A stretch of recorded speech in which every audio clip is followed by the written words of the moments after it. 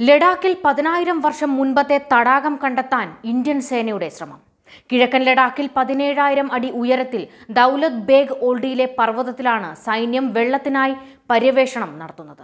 നൂറ്റാണ്ടുകൾ മുൻപ് ലഡാക്കിൽ പ്രവഹിച്ചുകൊണ്ടിരുന്ന തടാകം വീണ്ടെടുക്കാൻ ജലപര്യവേഷണ ദൗത്യത്തിലേക്ക് എത്തുമ്പോൾ അത് ചൈനയെ ചൊടിപ്പിക്കുന്നു. സേനയെ പ്രതിരോധത്തിലാക്കാൻ പാംകോങ് തടാകത്തിന്റെ ഒഴുക്ക് തടസ്സപ്പെടുത്തുന്നുണ്ട് ചൈനീസ് സേന. അപ്പോഴാണ് ഇന്ത്യൻ സേന ജലപര്യവേഷണ ദൗത്യത്തിലേക്ക് എത്തുന്നതും. ലഡാക്കിൽ ഒന്നിനും ഒരു കുറവും ഉണ്ടാകരുത്. മലമുകളിൽ നിലയുറപ്പിച്ചിരിക്കുന്ന സൈന്യത്തിന് വെള്ളത്തിനും മുട്ടുണ്ടാകരുത്. ദൗത്യം ആരംഭിച്ചിരിക്കുകയാണ് സേന.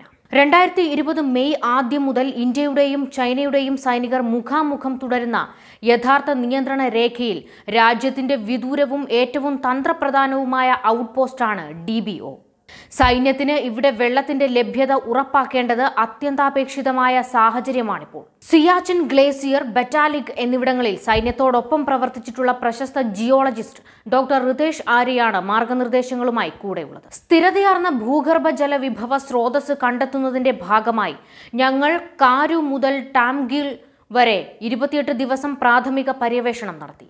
ഡി ബി ഒയിലേക്കും യാത്ര ചെയ്തു. പ്രതീക്ഷയ്ക്ക് വകയുണ്ട് ഡോക്ടർ റിതേഷ് ആര്യ പറഞ്ഞു.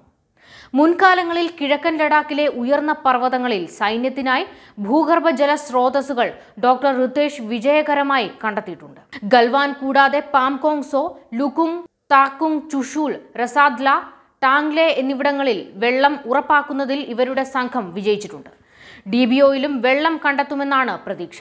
പതിനായിരം വർഷങ്ങൾക്ക് മുൻപ് ഡി ബി ഒയിൽ നിലനിന്നിരുന്ന ഒരു തടാകം പുനർനിർമ്മിക്കാനും പദ്ധതിയുണ്ട്.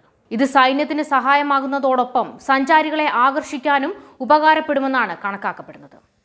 പാംഗോങ് നദിക്കരയിൽ ചൈന സ്ഥിരം പ്രകോപനം സൃഷ്ടിക്കുന്നുണ്ട്. പാംഗോങ് നദിയുടെ ഒഴുക്ക് തടസ്സപ്പെടുത്തി സേനയെ വലയ്ക്കുന്ന നീക്കമാണ് അടിക്കടി ചൈന തുടരുന്നത്. പാംഗോങ് നദി തങ്ങളുടേതാണെന്നാണ് ചൈന അവകാശപ്പെടുന്നത്.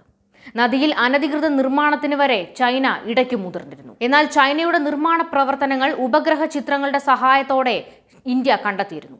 ഇതോടെ ഇന്ത്യ ചൈനയ്ക്ക് മുന്നറിയിപ്പ് നൽകിയതോടെയാണ് ചൈനീസ് സേന പിന്മാറിയത്. ഇപ്പോൾ ഇന്ത്യ ദൗലത് ബേഗോൾഡി പർവതത്തിൽ ജലത്തിനായി പര്യവേഷണം നടത്തുന്ന വാർത്തകൾ പുറത്തു വന്നതോടെ ചൈന ചൊടിച്ചിരിക്കുന്നു. ഇന്ത്യയുടെ ദൗത്യം ഫലം കണ്ടാൽ ചൈനയ്ക്കത് വലിയ തിരിച്ചടിയാകും. കാരണം ഏറെ തന്ത്രപ്രധാന മേഖലയാണ് Daulat Beg Oldi news desk Karma news.